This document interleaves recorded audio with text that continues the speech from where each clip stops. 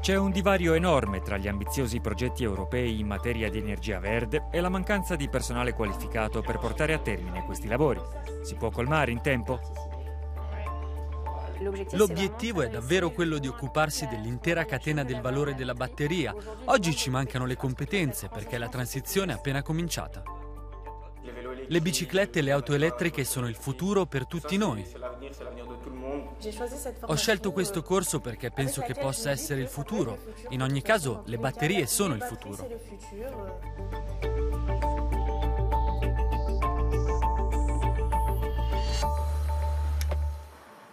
Benvenuti a Business Planet. C'è un'enorme carenza di personale qualificato nei settori net zero come le batterie, il solare e l'eolico. L'Europa sta investendo milioni di euro in accademie specializzate. Incontreremo alcuni degli insegnanti e degli studenti impegnati in questo settore. Grenoble ospita una delle prime accademie europee per le batterie, frutto della collaborazione tra le aziende, tra cui il produttore locale di batterie Vercor e diverse altre istituzioni e laboratori locali. Secondo le stime della Commissione europea, il solo settore delle batterie avrà bisogno di 800.000 persone da formare o riqualificare entro il 2025. Questo gruppo di studenti ha appena cominciato gli studi sull'industria delle batterie. Le batterie sono un campo nuovo di zecca, sono giovane e quindi ho pensato perché non buttarmi in qualcosa di nuovo, qualcosa che mi possa portare solo cose buone in futuro. Per noi in Francia è una nuova avventura. Penso che l'elettricità, soprattutto le batterie elettriche, siano il futuro. Nel nord della Francia sono in fase di costruzione tre grandi fabbriche di batterie, tra cui il nuovo impianto di Vercor vicino a Dunkerque, che fornirà le batterie per la nuova gamma di veicoli Alpine di Renault. Oggi le competenze, soprattutto per quanto riguarda la produzione di batterie, si trovano principalmente in Asia e negli Stati Uniti. A noi mancano queste competenze perché la transizione è appena cominciata.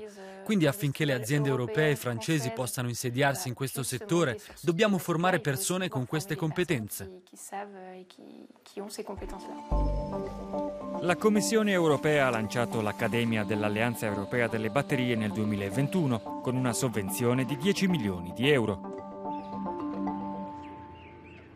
L'Accademia comprende una rete di scuole che ha l'obiettivo di formare giovani studenti che stanno continuando gli studi o che sono solo all'inizio, nonché dipendenti che hanno bisogno di riqualificarsi, passando dal lavoro con i veicoli termici a quelli elettrici.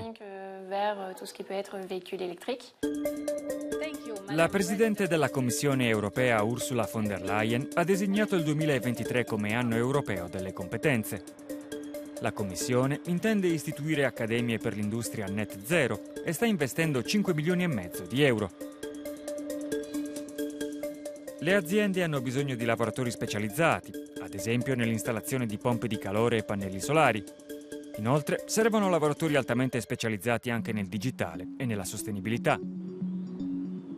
A Lione Iten produce microbatterie ricaricabili utilizzate in numerosi dispositivi, dalle carte di pagamento intelligenti agli impianti medici.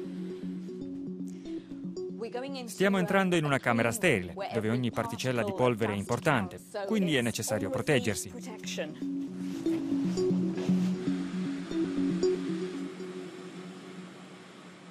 La tecnologia si evolve molto rapidamente e per noi è fondamentale avere competenze che si evolvano al passo con queste esigenze.